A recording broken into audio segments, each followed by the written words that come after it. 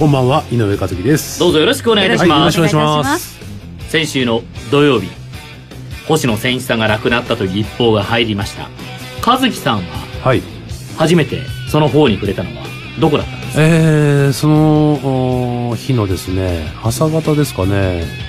えー、自分の携帯に、えー、LINE が入ったんですね、はい、ピコピコっとね。その LINE の送ってくれたのは落合英二さんだったんですけども、えー、星野さんが亡くなっちゃったよっていうね、それではって俺も本当寝ぼけてて、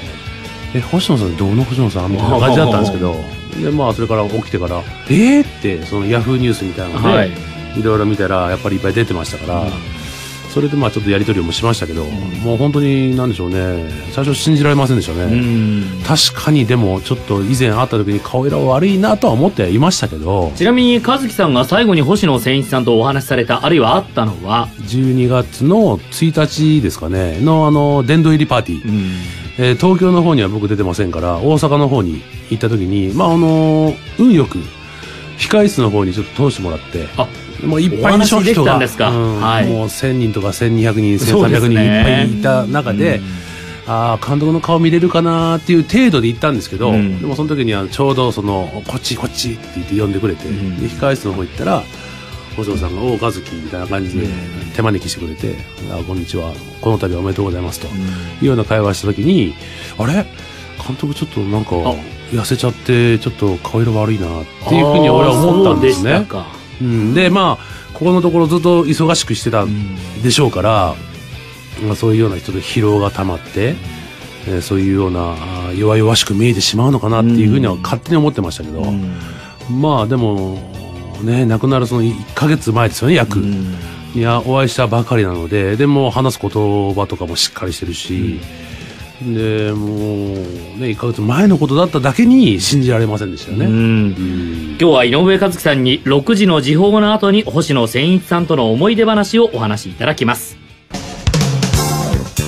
ドラゴンズ情報です。今日の担当東海ラジオ森高俊アナウンサーです。お願いします。こんばんは。お願いいたします。今日も新人合同自主トレが行われました、うん。えー、ということでまず今日なんですけれども先日大沢アナウンサーもお伝えしたように山本選手。え豆ができまして、はい、え足の故障があったんですけれども、うん、あのそんなに大きな故障ではなくて、はい、え通常のメニューをこなしておりました。そうですか。でどうやらねなぜそうなってしまったかという質問が飛んだんですけれども、はい、まあ、これからプロになるんだということで、意気込んで年末年始相当ですね、えー、地元の西宮市であるとか宝塚市を毎日ひたすら走っていたそうですね。山を走り海岸を走りということで、はい、走りすぎた結果、まあ、親指の下に豆ができてしまって、ええ、ちょっと痛くなったということだったんですけれども、大事には至らなかったようです。うんで年明けはあの近くにある岩静神社という、小さい神社だそうなんですが非常に長い歴史のある神社で、えー、ここで、えー、どうぞ一軍で投げさせてくださいと願掛けをしましたということでしたね、あのいろんな選手に初詣の話をお伺いすると、うん、結構どの方もなんか大きな有名なところに行くのではなくて、はい地元の神社に行く選手ってすごく多いですね、うん、そうなんですよね、えー、ただ、まあ、必ずこうお願いをしっかりしてくるという選手も多くて、はいうん、えー、山本選手はあの一律西宮高校、非常にこう弁学が優秀な学校でございますが、はいまあ、進学校、ね、でございますが、えー、やっぱりねほとんどの3年生がセンター試験を受けるそうです、うん、えー、で2月もこう卒業前にテストがあるんですけれども、まあ、センター試験も受けずに2月のテストも見込み点で山本選手は大丈夫ということになったそうなんですが、はい、おそらく学校始まって僕が初めてじゃないでしょうかと。あ、見込み点で卒業するという,、いうことを言っておりましたね、まあ、それぐらいこうテスト勉強厳しいという学校でございます、で沖縄のキャンプ2月1日から始まりますがあの沖縄には行ったことがありませんと。初めてですとで沖縄行って何がしたいですかという質問が飛んだんですが、うん、サンゴ礁が見たいですという可愛い回答が返ってまいりました。休みの日に見に行けますかね和樹さんねサンゴ礁。潜るんかい。ね2月にね。2月だよ、えー、新学校でしたよね。新学校ですね。2月大丈夫かな、えーえー、そして、えー、ドラフト1位ルーキー鈴木投手ですね、うん、えー、鈴木投手も今日話を聞きますと少しは慣れてきたかなという実感を持っていますと、うん、ただ慣れないことがいくつかあります。で一つはあの鈴木さんと同期の高校生が多いんで同期の子たちは鈴木さんと言ってくるんですが、えー、僕はまあ過去鈴木さんと呼ばれたことがあまりありませんと、えー、高校時代から大体まあ広さんとか、うん、ヤマハ時代でも広とかニックネームはヤマハ時代は体が大きかったもんですからビッグと呼ばれていたそうなんですが 大体ビッグとかヒロシさんと呼ばれていて、鈴木さんと呼ばれたことがほとんどなくてあそうですか、えー、同期の子たちに鈴木さんと呼ばれるのが今だにちょっと慣れませんねあ、うん、まあ、鈴木翔太選手もね、はい。えー、ドラゴンズいますから、ええ、2人が揃った時には呼び方が変わるかもしれませんね。そうですね、うん、でもう一つが、まあ、練習もいきなりビッグって後輩呼ばないですよね。ビッグさんと。そのうちね慣れてきたらね、ええ、もうニックネームで言いますよ、ね、後輩後輩からも多分ね、呼び捨てで言われるようなタイプじゃないですか。なんかブーちゃんとか言われそうでしょ？なんかそういう、そんな感じに見えません？アンパンマンチックなあんちゃんとかね。パンちゃんとかなるんですよね、多分ね、そのうちね。確かにね、アボガトが好きなんで、えーアボさんってどうですかっていうのも出たんですが 本人ピンときてませんでしたね。アボさんね。アボガドって。でもう一つがあの、まあ、練習も確かにそうで1日終わるとぐったりするんですが、うん、あの人が見ている中でこれだけ毎日カメラが自分に向いている中で練習をしてきたことがありませんのでこれはやっぱり慣れませんねというふうに言っておりました。だからまあ練習量プラスこういったものを意識しての練習でやっぱり一日が終わるとぐったりしますということでしたね。これは和樹さんキャンプ始まったら毎回ブルペンでピッチングが終わったごとに記者に囲まれるっていうのが待ってますね、うん、ですよね、えー、ゴールデンルーキー、はい、ドラフト1位、うん、今日の塩梅はどうでしたか、うん、あの球のかかり具合どうですか、はい、今日のテーマは何ですか、みたいな。そんな毎日変わるかっていうところもあるでしょうけど。いつから座らせますか、ね、そうそう変化球いつから投げますかって。でもねそれを言われてるうちがそのなんでしょうね。ね。花じゃないけども、えー、ブルペンでピッチング終わってからすっと出てきたけども誰も来ないっていうようなね状況ではちょっと寂しすぎますから、うん、それをあの堪能して、えー、なんでしょうね楽しめばいいんですよ、うん。うん、まあ、あの同じような状況の質問が確かに飛んだんですが鈴木投手はね考えたくありませんねというふうにね言っておりました。で先々の話を考えるよりも、まあ、やっぱり今はあの正直もっと本当練習したいと純粋に思えているし、うん、いろんな先輩たちに会って話をしたいと。でとにかく毎日来る。ランニングランニングランニングっていうメニューを乗り越えていって何かが見えてくるんじゃないかと、それを今考えてますということでしたね。まずは走りたくないから、それを着実にやっていこうと、大事なことですよね。一日一日クリアしていきたいということでした。うんうん、で、さらに今日はあの練習が終わった後ですね、新人選手全員が足の測定を行いました。これ何のためかと言いますと、はい、足の形を取りまして、足型を取って、その選手に合ったインソールをなる作るために全選手が足型を取りました、えー、あの特殊な沈み込むスポンジの中に足をこうズブズブっと沈み込めて、うん、えー、1人ずつこう取っていってで専門の業者さん3人ついてですね、まあ、その選手の足の弱点をこう見ていくわけですね。うん、で伊藤選手のところを僕見ていたんですが伊藤選手はあの親指が若干内側に入ってまして、うん、小指が若干浮き気味ということで、えー、ちょっとこう外反内反母子気味の足をしていたんですけれども立ってくださいと、で後ろで手を組んでくださいと。引っ張りますよって引っ張った時にどこまで引っ張ったら踏ん張れるかとかどの角度で引っ張ったら踏ん張れないとかこういうのを見ていくんですね。すごい。でわずか5ミリのスポンジをその足のところにかませるだけで踏ん張りが効くようになったりとかこう足の構造弱点をバーッとこう測定していってインソールを作っていくということでしたね。和樹さん現役時代とかってそういう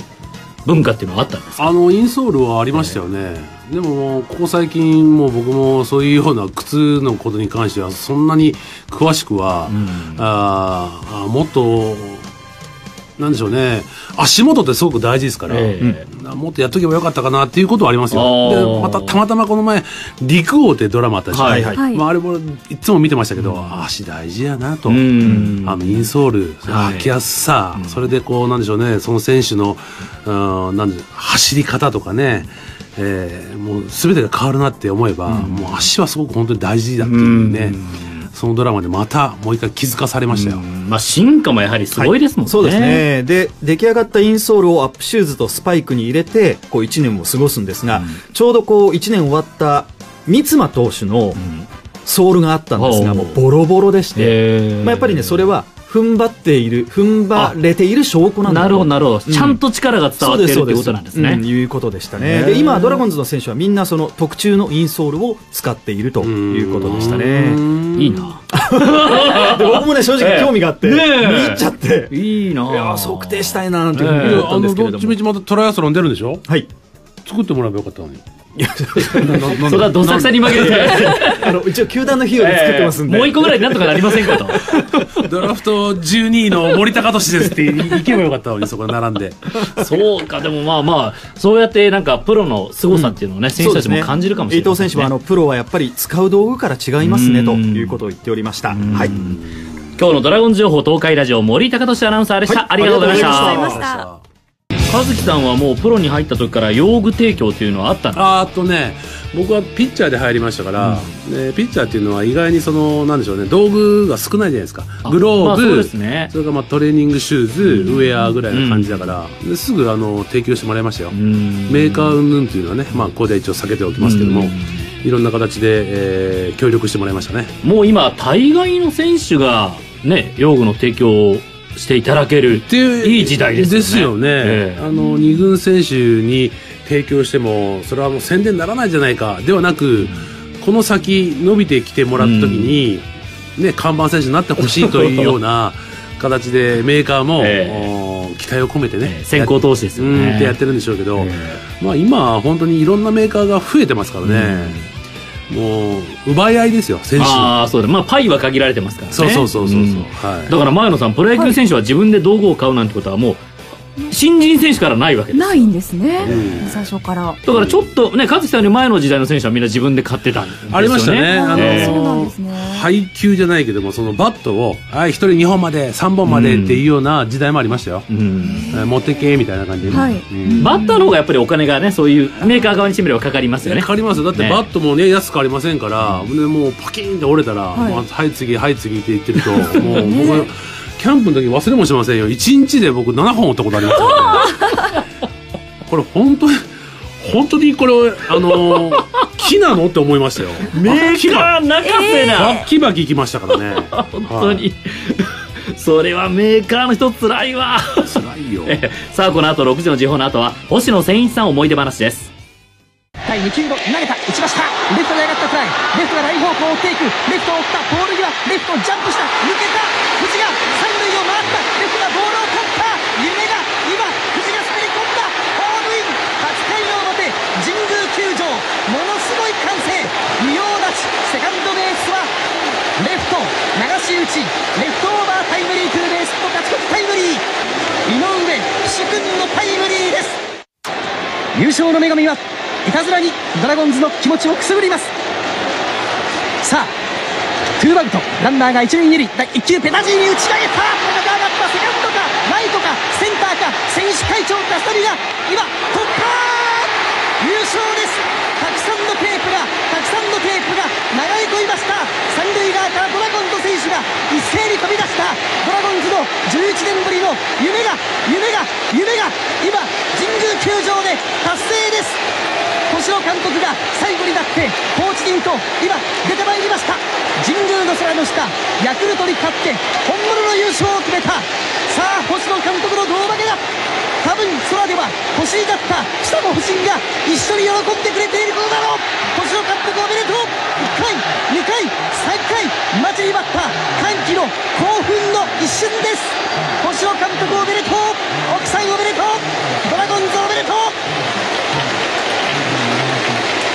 マウンド上にドラゴンズグレーのユニフォーム青い帽子たくさんのたくさんの選手とコーチと輪ができました。夢が集まりました。星野監督77番歓喜の胴上げでした。11年ぶりです。1999年ドラゴンズ11年ぶりリーグ優勝のシーン北山アナウンサーの実況でございました。決勝タイムリーヒットを打ったのが今スタジオにいらっしゃる井上和樹さん。ということでございましたが、うん、改めてちょっとね和樹さんにいろいろ星野千一さんとの思い出をお話しいただきたいんですが。ですね。今このハイライトシーンを聞いてると1999年9月30日っていう日はもう本当に記念すべき日でしたしあのこの日はね神宮球場で試合があるにもかかわらずどうだたらもう8割？あ ?8 割はドラゴンズファンでしたよ。もう本当に1球投げるたびに、はい。1打打つたびに、ものすごい歓声で、こんな中で野球やれるっていうのはね、今思えば本当に幸せだったなと思いますけども、当時、その星野監督は、あのー勝って優勝を決めたいというね、そして、えー回の途中で、どうですか、7回か8回ぐらいかな、対象チームのジャイアンツだったかな、が負けて、もう優勝は決まってはいるんですけども、あのー仁王立ちでね、もうちょっとこう、ある意味、顔をしかめっ面と言いますか、まだうちは勝ってないじゃないかっていうようなね、表情で、僕らのプレーを見、守っていましたけど、その時にまあ、たまたまですけどね、僕はこうやって腕で逆転して、その時に、なんでしょうね、いの一番にじゃあどこを見たかっていうとね、点数が入った、そしてファンが喜んでる、電光掲示板に点数が入ってることを確認はまずして、それからまずベンチに向かってまあちょっとしたガッツポーズみたいなことやりましたけど、うん。その時にやはり一番最初に見てるのは監督なんですよね。あ監督どんな表情してるのみたいなね。それがやはり気になる。そういったことを、なんでしょうね、選手っていうのは常日頃、監督怒ってっかな、監督喜んでっかな、っていうようなことを、ものすごく気にするんですよ。その中でも、うん星野さんっていうのは、もう喜怒哀楽が激しい人。まあ、それは、えー、監督の中での多少パフォーマンスもあったかもしれないけども、それがドラゴンズのなんでしょうね、伝統、うーん、厳しい、そしてみんながこう叩き上げでやってきたっていうね、メンバーを揃えてきた。そして11年ぶりでしょこの優勝がね。はいで、1988年の優勝の時は、えー、皇室の、おそうです不幸が。昭和天皇の体調が優れなかったんですね。ですよね。はい。それでビールかけがなかできなかった。ね。うん自粛したということですよね。はい。それでいた、あーなんかちょっと、お後からの、まあ、どんちゃん騒ぎはいっていうのを自粛したというような話も聞いてましたから、まあ、この時は本当にね、終わってからホテル帰って、ビールかけして、えープールにみんな体をね、えー投げ合いっこしてっていうね、その時のあの、星野さんの、いや、お前らようやったと。で、あの、神宮球場で優勝決まった瞬間に監督インタビューの、コメントですよ。まあ聞いてて本当になんかすごく感動するような言葉をいろいろ残されてきましたけど、本当にこの今まで頑張ってきた選手たちを褒めてやってくださいっていうね、コメントをもらった時は、もう本当ジーンときましたね。えーこのお時のために頑張ってきたと。まあ本当にね、でも星野さんを語る上で、まず避けて通れないのは、やはりその、ここまで怒るの？そんなにね、ある意味と鉄拳制裁とか、ええ。ものすごい、うん他のチームではないであろうと思われる教育、厳しい厳しい教育でしたけども、どのお先輩方の話を聞いても、厳しいけども私服になった時の星野さんの優しさ、そのギャップ、うん、それを見せられると、くっそもう、本当に知らねえよ監督っていう気持ちが、なんか許してしまうというか、あでもうすごい目が血走って、もう顔と顔がもう10センチ、15センチぐらい近いところで怒られたとしても、もうそうやって怒られて、もうダメだって思ってたとしても次の日に使ってくれるとかね。そういったことがすごく、うなんでしょうね。選手の気持ちを転がすことがうまい、うん、ある意味魔術師というか、そんなのはすごく長けてましたね。まあ、ある意味、貴重な方でしたから、これはもうドラゴンズのみならず今回の星野さんを亡くしたっていうのは大阪でも、それから仙台でも、皆さん本当に悲しんでいるのはもう当然なんですけども、日本全国ですよね。プロ野球だけじゃないと。アマチュアを含めると、日本全国の野球というものに携わってきた、あー私は幸せ者だみたいなことをね、星野さんは言ってましたけども、なんでしょうね、僕もいろんなところでコメントはちょっとしさせてもらいましたけども、小学校、中学校、高校と、うん監督、プロに入ってからもいろんな監督に携わってきましたけど、うんどの監督にもお世話になりました。なりましたけども、井の一番に、うん、お前の一番の監督誰だったって言った時には、は、やはり、えー星野さんかな、うんと思いますね。入ってきた時に、えー九州に左ピッチャーですごいピッチャーがいる。そしてもうドラフトで取ったのが2位でお前は取ったんだぞ。騙された。っていうことはよくね、冗談で言われましたけどね。うん、でもそういった、なんか縁というか、うん、中、高校を卒業してからドラゴンズのイメージっていうのは、うーわ、星野監督って怖い人のいるところだって思いましたから、またあんなところでぐあの野球しなきゃいけないの？って思った時には、ちょっとゾッとしましたけど、えあの貴重な体験っていうのは、これは本当に、えー他の選手には多分体験できない。そして愛情をもう目いっぱい注ぎ込まれた。僕はあの、本当に自分でもいろんな方に言うんですけども、星野監督にすごく可愛がられたっていう自負がありますから、野球以外でも、あの、プライベートなことの相談に乗ってもらったり、そして、おい、ちょっと家族遊び来いよっていうようなことを言ってもらったりね。そういったことをしてもらってるだけに、もう本当にうちの親父、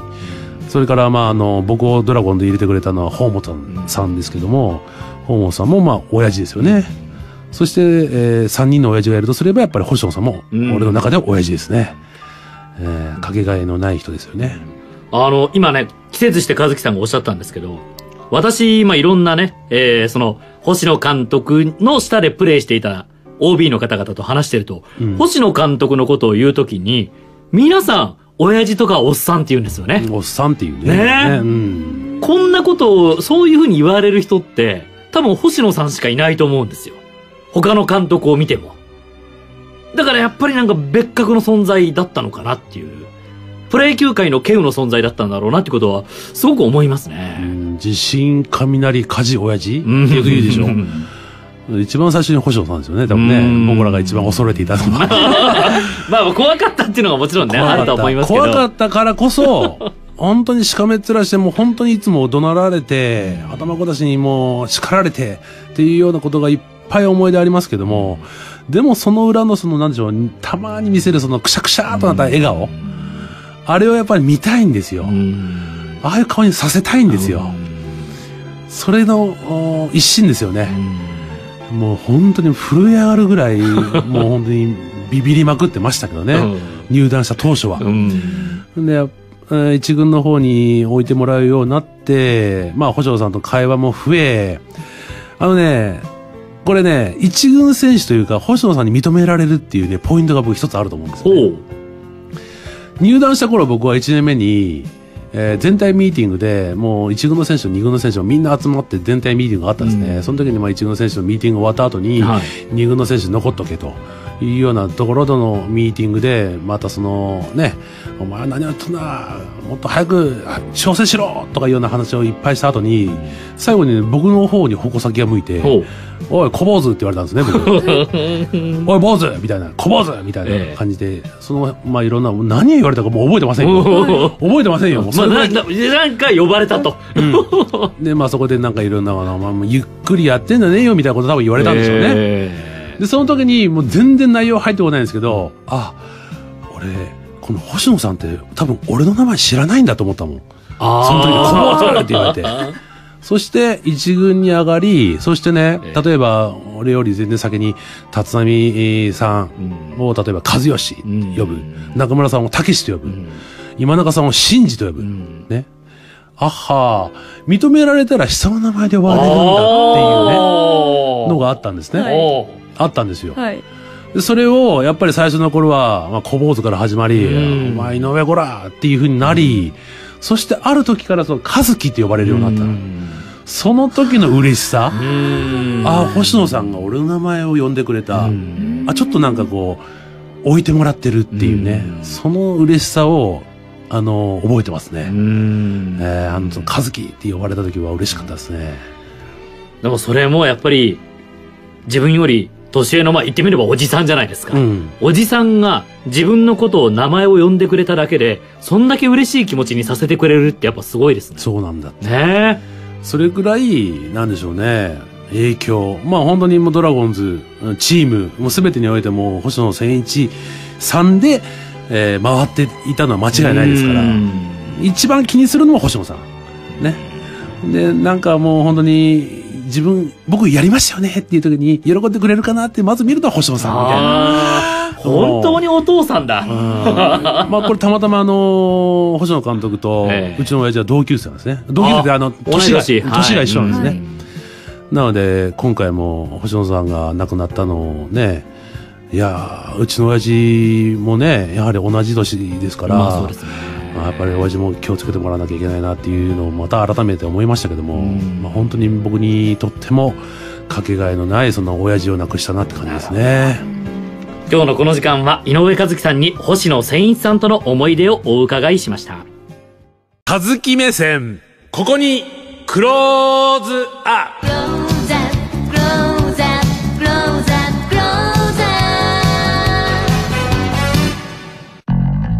さて今日からスタートしたこのコーナー、和樹目線ここにクローズアップ。和樹さんがこの1週間で気になったスポーツの話題を取り上げてトークします。野球だけではありません。いろんなスポーツを取り上げてもらいます。さて、和樹さん、はい今週はまずですね、カヌーの話題ですね。えー簡単に概略を説明しますと日本アンチドーピング機構が昨日去年9月に行われたカヌーの大会で鈴木康弘選手32歳が小松誠司選手25歳のドリンクに禁止薬物を混入。小松選手がドーピング違反で資格停止処分を受けていた事実を公表しました。ライバル選手に薬物を飲ませる前代未聞の行為が発覚。鈴木選手は8年間の資格停止処分を受けたが今後日本カヌー連盟から最も重い除名処分を受ける可能性があります。また鈴木選手は過去に他の選手の練習器具を損壊したり盗んだりという行為も行っていたことが発覚。小松選手は資格停止処分が解除され東京オリンピックに向けて練習を続けるということですがいやー和樹さんすごいニュースが起きましたね。ですねね。これはあのー僕ね、このニュース聞いたときに、これはもうまずまでやってはいけないことですよ。はいやってはいけないことですけども、オリンピックって、やはりそのアマチュアスポーツ、もうすべてのスポーツにね、携わってる選手たちの夢じゃないですか。オリンピックの舞台に立ちたい。その悪いことをやってはいけないっていうのはみんな多分罪悪感とかも絶対持ってるはずなんですよ。はい人のものを例えば隠したり、そして、えー器具をちょっと壊したりとかね、するっていうことは間違いなくそれが OK だよ大丈夫だよっていう選手なんか絶対いるはずがないんですよ。はいいるはずがないんだけどもそういう行為までしてまでもオリンピックに出なきゃいけないというプレッシャー、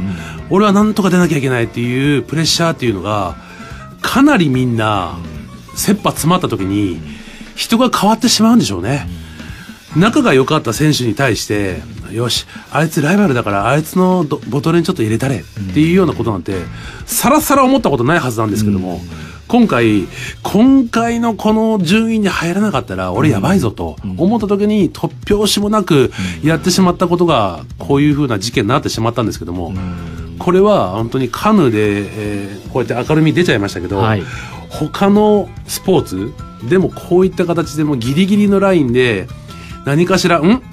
ちょっとおかしくないこれ匂うな。やばいな。ちょっと事件性あるんじゃない？っていうことは多分ちょこちょこあると思うんですよね。あると思うんですよ。ある中でも、やはり一番に俺は思ったのは、母、目指すところが、やはりオリンピックっていうなると。で、来月からピョンチャンオリンピック始まりますよね。はいオリンピックっていう、ピョンチャンオリンピックが始まる。これは冬季ですけども、カヌーなんかはね、全然普通のお夏にやるオリンピックなんでしょうけども、もう日にちがない。もう選考会がある。代表に選ばれなくちゃいけない。そしてこの、えー事件を起こしてしまったこの鈴木選手の奥さんもオリンピック選手だったんですよね。で、まあ夫婦で同時にオリンピック出なきゃいけないっていうね、その一家、えー家族を挙げて、えー応援するからねっていうようなものがものすごくプレッシャーだったと思うんですよね。それでこの犯行に及んでしまったのかというようなことを。これはいけないことですけども、うん。ああそういうプレッシャーといつも戦ってるんだなっていうのはねちょっとだけちょっとだけこのなんでしょうねかわいそうなんだなっていうふうに思ってしまいましたね。だって結局もう大悪人ではないから自白したわけですもんね。そう。これ大悪人だったらずっと黙ってることもできたわけでじゃないですか、ですよね、ええ。やっぱりそのよかったですよ、でも。スポーツマンシップにのっとって、はいっていうような気持ちが少し残っていたからこそ、これを黙っていたとしたら、このライバルであったこの小松選手ですね。はい小松選手だってもうね、カヌーにもうそうですねね。、えー漕ぐことができないっていう状況に多分なってしまったでしょうからね。うん。過去にはあのアメリカのスケートのトーネ・ハーディングとナンシー・ケリガンがね,、ありましたねえーケリガンのを怪我させてうん。出ようというのもありましたしね、えーでしたね。えーこれあの私他の野球とは全然関係なく他の競技の選手から聞いたことあるんですけど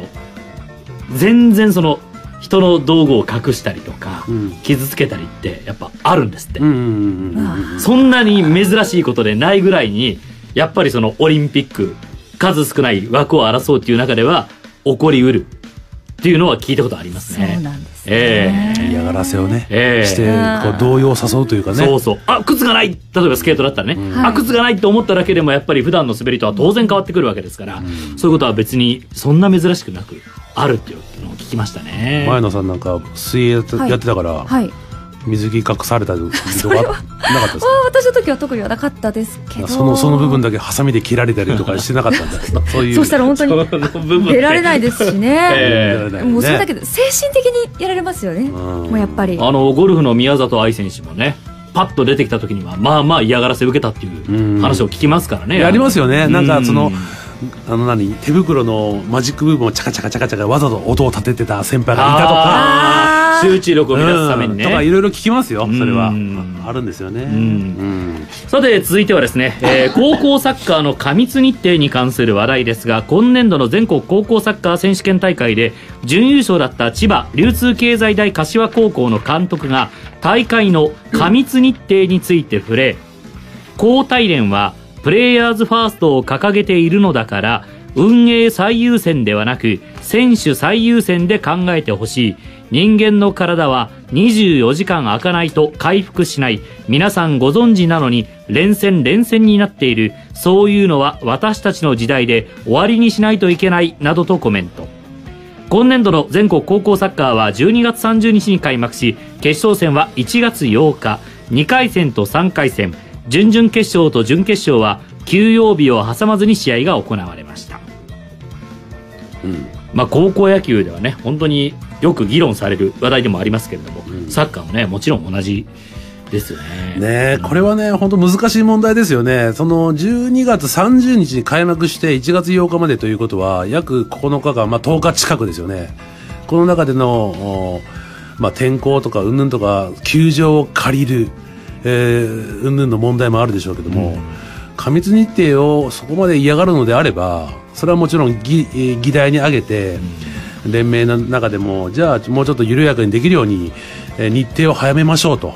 えー30日に開幕せずに、例えば冬休み入ったばっかり、えー23とか24ぐらいから始めたら、そんなに過密日程にならないんじゃないの？とかね、方法はなんぼでもあると思うんですよね。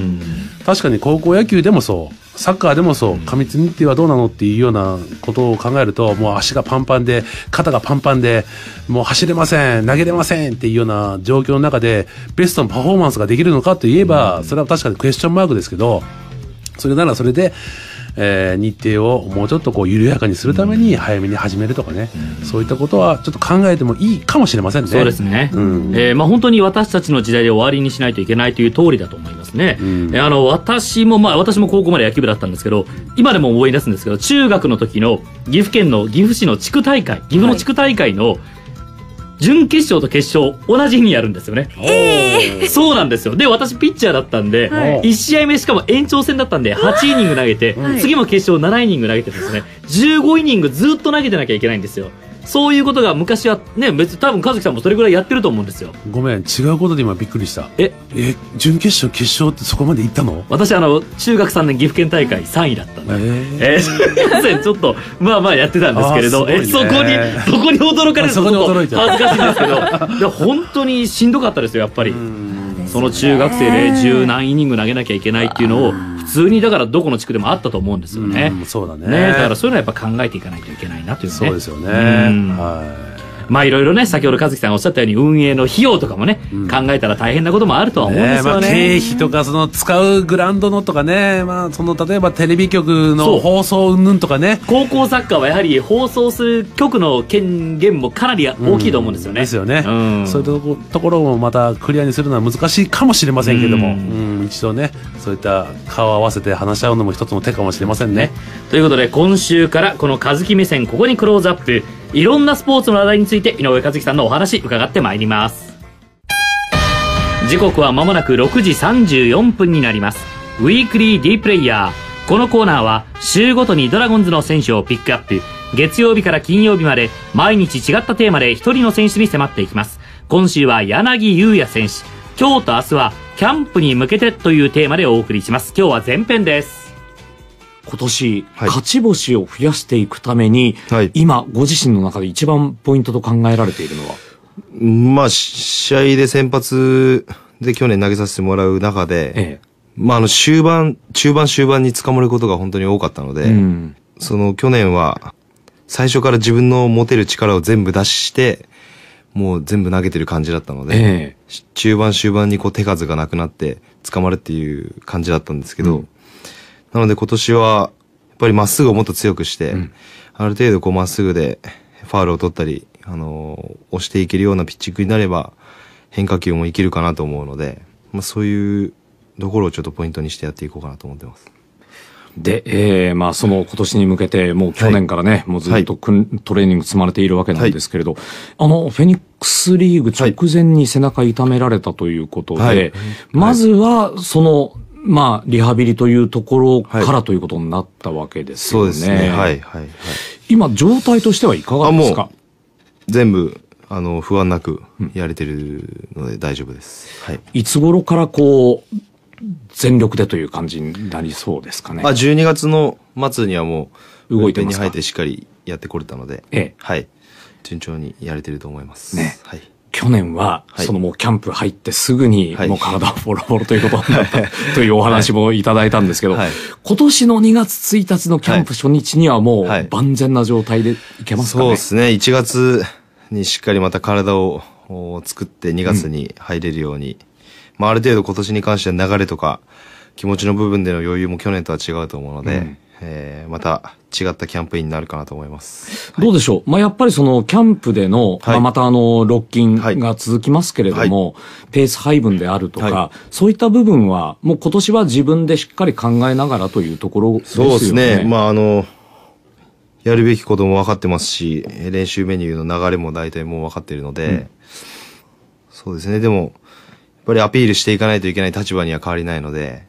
うんしっかりアピールできるようにしたいなっていうのは思ってますけど、はい。でもね、今の若い選手の人たちを見てて、本当にあの、まあ、時代といや時代なんでしょうけど、私があの、この世界入った頃は、誰が何日にブルペン入るかっていうのが話題になってたんですね。あで、特にもうベテランの選手なんて、はいまだもう2月半分過ぎとって、まだ入ってないよみたいな話だったんですけど、はいはいはい今もう2月1日、みんなブルペンじゃあ。ないですか。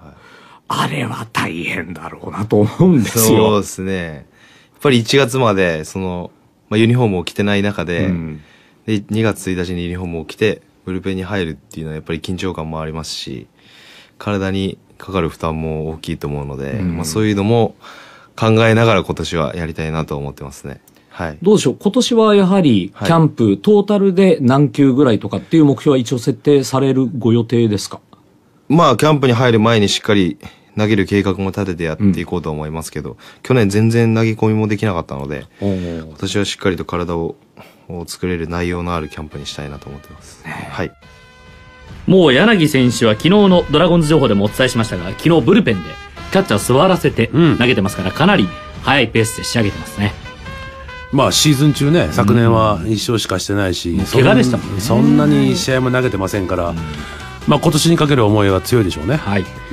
今週のウィークリー D プレイヤーは柳優也選手。明日はキャンプに向けて後編ということでお伺いしています。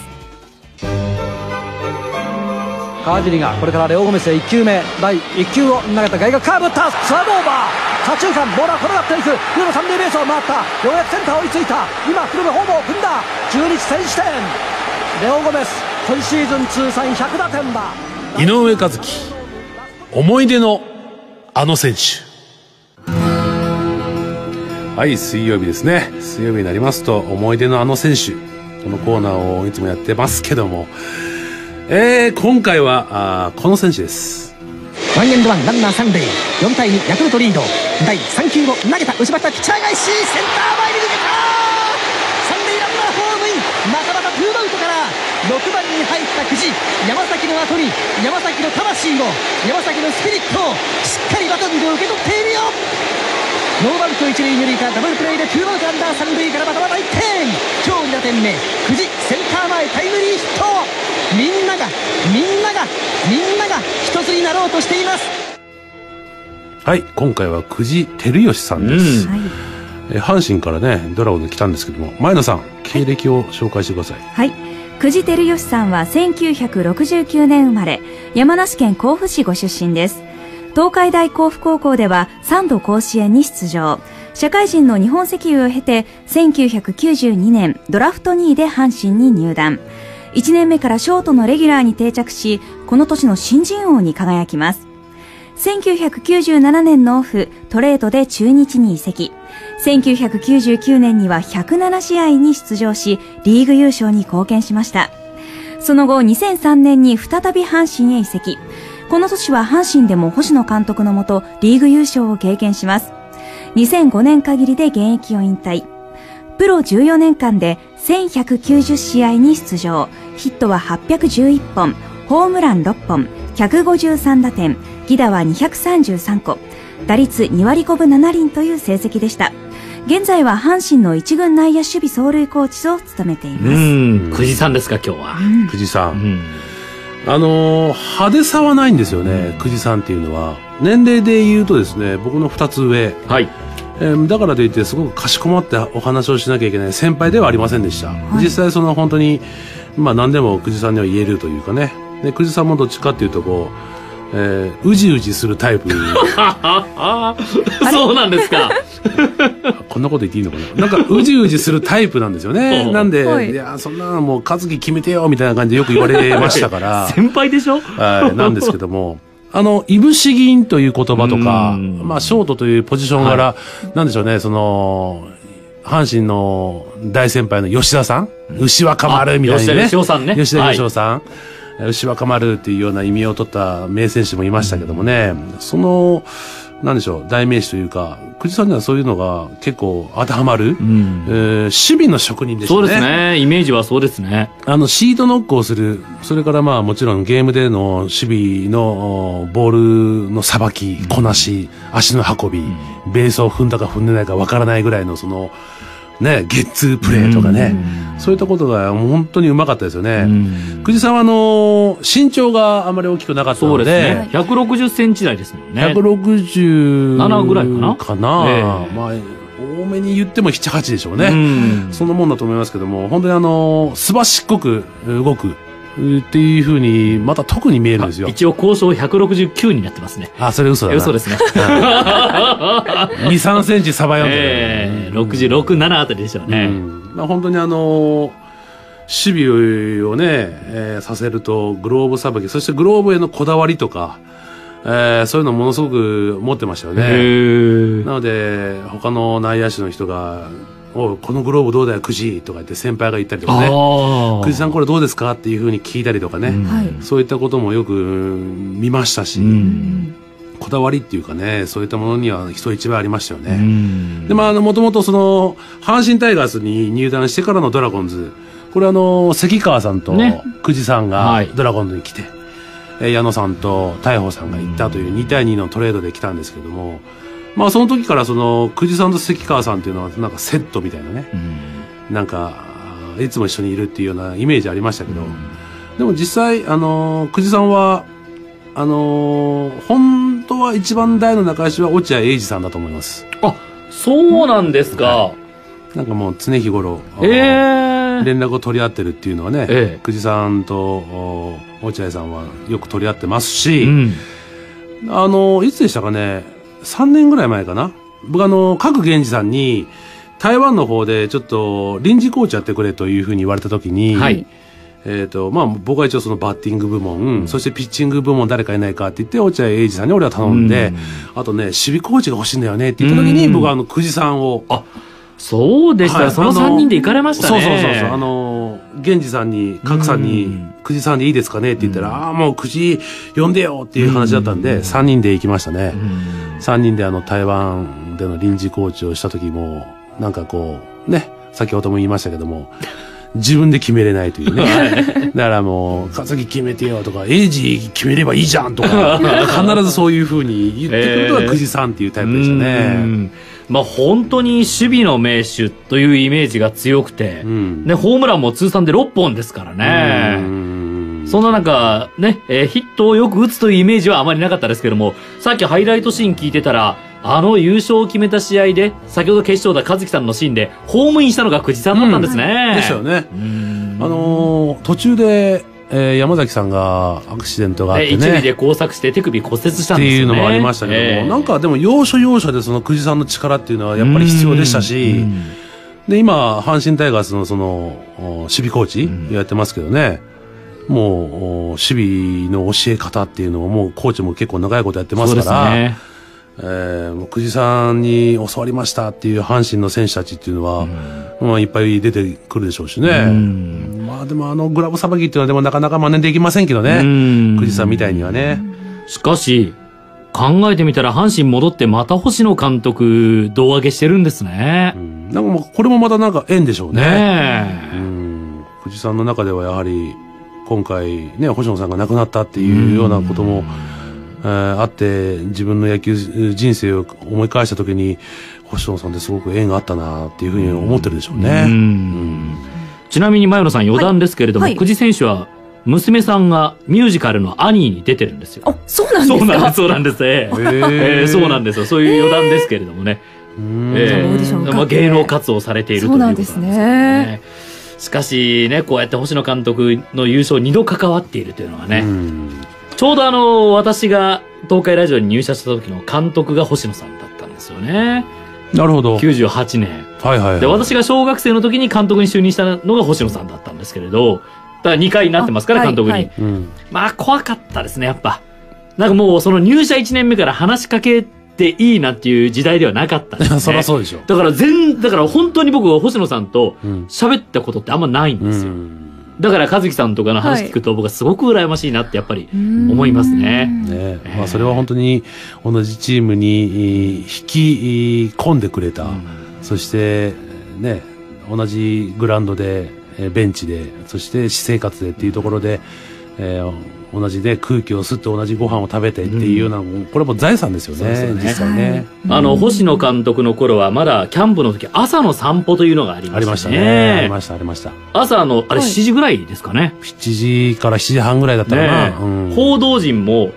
一緒にドラゴンズの宿舎に行って、星野さんの周りを一緒に歩くんですよ。歩く？うんええしかもみんなお揃いのはい。1001って入ってるウィンドブレーカー着て歩くんですよ、これ。そうなん、まあ、ほだから本当にもうマスコミも星野軍団みたいになってるんですよね。で、そこで、これまたいろいろ話してくれるんですよ、その時に。その時にだからそれが貴重なし、ね、取材のネタになるんですけど、その後一緒に食事も取るんですよね。そうそうそう朝食の。一緒に。うんそう。それね、僕未だに覚えてるんですけど、入社2年目ペーペーなのに、はい何も知らずに座ったら星野さんの目の前で、地獄んのような時間がかかったっていう。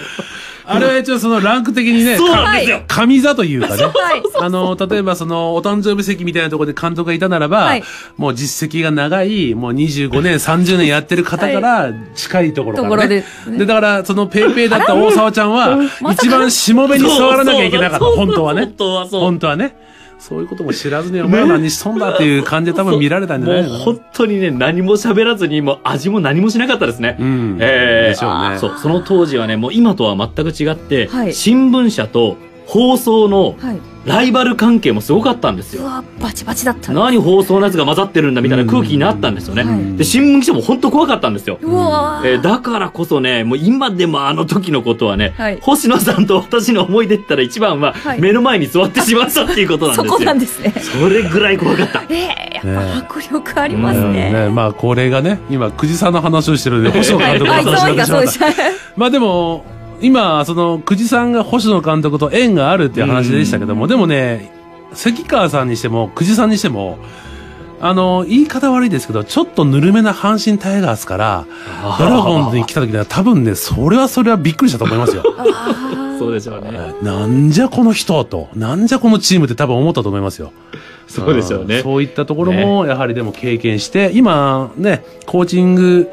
をやってますけども、生きてると思いますけどね。うんそういった経験がね。そら、いきなりね、関川さんも久慈さんも、報道陣がみんなお揃いのジャンバー着て、胸に星野さんの似顔絵が書いてあって、ですよねえー首のところには数字で1001って書いてあるのをみんなでね、着てるのを見たらびっくりしたと思いますよ。信者がね。ね そうそうそうそう。そんなことをね、やはり星野監督と、やっぱり同時代の選手はね、なんか思い出してしまいますよね。ですよねえーということで、今日は井上和樹さんに、久慈照義選手についての思い出を語っていただきました。こんなメールが届いております。高谷の正さんですね。えー僕が星野監督と和樹さんで印象に残っている試合は99年東京ドーム巨人中日戦でドラゴンズ野口ジャイアンツバッターマルティネスの場面でマルティネスの打球がライトの和樹さんのところに飛び打球が地面すれすれ落ちるところを和樹さんが前進してギリギリダイレクトキャッチしかし審判はワンバウンドと判定もちろん星野監督が猛抗議するも判定は覆りませんでしたと覚えてますか？覚えてますよ。これはね。ありましたね。もう間違いなく俺はもうノーバウンド取ってはいたんですけどあーそうですかも、そのセーフってやられたわけですよね。ええでその後に猛抗議にえー監督が飛んで走ってきましたね、まあ本当にもう見たことないぐらいのダッシュ力できました、この日は星野監督が何度も抗議する場面が多くストレスがたまる試合でしたがうんうんうんうん。ドラゴンズ打線が爆発して見事勝利したのが印象に残っていますと。え勝ったんだったのかな？勝ったんですね。えー、そうなんだ、うんそこまで覚えてませんけどあの帰った時にまた怒られましたけどね。そのセーフって言われたんだったらその後のプレーを続行しろと。まあその取ってます取ってますのアピールは後でええんじゃいみたいな感じで怒られましたけどね。ああなるほどね。試合はまだ続いてるんだろうと。続いてるんだろうと。なるほどえーねさっき一緒になって言ってくれてたやんと思いながら 思いながらもその後ちゃんと処理せんかいみたいな感じで怒られましたけど、そこはさすがに野球の監督ですね。でそこで俺も「はい」みたいな感じだったんで、うん、そうそうそう。えー関市のアミーゴさん星野監督には夢と感動をありがとうと言いたいですご冥福を祈るばかりですチンプレー好プレーで、うんミノモンタさんのナレーションで「星野だ!」にはいつも東証だっただけに合ってたなということで、まあ、やはり乱闘というイメージもねかなり強くついてますね。最近はちょっと寂しくなりましたね。そのチンプレー好プレーっていう番組がなくなっちゃったし、でその乱闘シーンっていうのはやってはいけない本当はあってはいけないっていうね感じだけどもでもそれを楽しみに見てる人っているでしょ。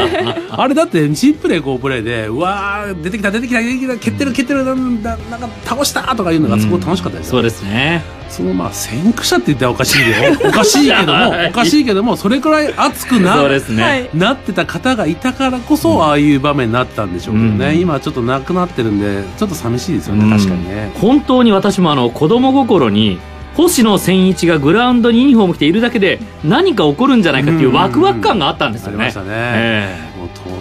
とうんでもないところで三振したり、はい。とんでもないところでエラーした時に多分テレビカメラはスッとその星野監督の表情をパンパンするというかねはい。そっちの絵の方が面白いというか。あとはエラーしてしまった三振してしまった選手の表情、ねやってもうた。え怒られるっていうね。監督どんな顔してんだやろうみたいな。見れーみたいなね。そういうのがまあ楽しかったんですけどね、ええでも本当にもう役者という感じがありましたね。ね。占領役者でした占領ね。役者ですん。ねなかなかあの占領役者っていうのも星野さんみたいな役者みたいなパフォーマーですね、うん。ある意味もう喋ってよし影響力それからもうなんでしょうね、えーみんなに対するうん存在感ですね、あそこまでの人はなかなかもうこれからも現れないでしょうね、よくあの監督賞で時計をいただいたみたいな話も聞いたりしますけれども、ちなみに井上和樹選手は、いただきましたよ。ああやっぱそうなんだ。はい。そういうのもねぼちぼちもらいましたしね、ええ。昔その数呼んでこいってね、うん。これ結構僕の中で有名な話なんですけども、あの広報に星野さんが「おい数呼んでこい」って言って、その数っていうのは「で和樹監督呼んでるぞ」って言って、俺がひょこひょこって監督って言ったら「あお前にこれお前じゃないんだよ」もう振り向きざまに「数ってか数は数でも和樹じゃねえんだ。和義だって怒られたこともありましたけどね。そんなふうに怒られたこともありました 監督好き候補が和樹さんを呼びに来たんですよね、要はその時に数を呼んでこいって言ったらね、え和樹じゃなくて和義だったらしいんですよね。え ところが候補は和樹だと思ったと。と思って俺を呼びに行って俺昨日俺なんかいいことしたっけな？なんか何本人が覚えなかった。覚えなかった、えなんか中途半端な状況で行っていいのかなと思いながら行ったら「お前じゃない」ってまたそこで怒られました。なるほど。はい、では前田さん明日のドラジからです、はい、ドラジからではですね、元東海ラジオアナウンサー、犬飼俊久さんはい。に電話にで出演していただきまして、うん。星野千一さんとの思い出をお伺いいたします。一番よくね星野さんを存じ上げているアナウンサーと言っていいでしょうね、はい。えそして木曜日のコーナー、大沢弘樹思い出のあの試合は2012年8月15日、中日巨人戦を取り上げます。ーはい。ドラジからスタジオ井上和樹さんでした。明日もよろしくお願いいたします、はいお願いします。お相手東海ラジオアナウンサー大沢弘樹と。前野沙織でした。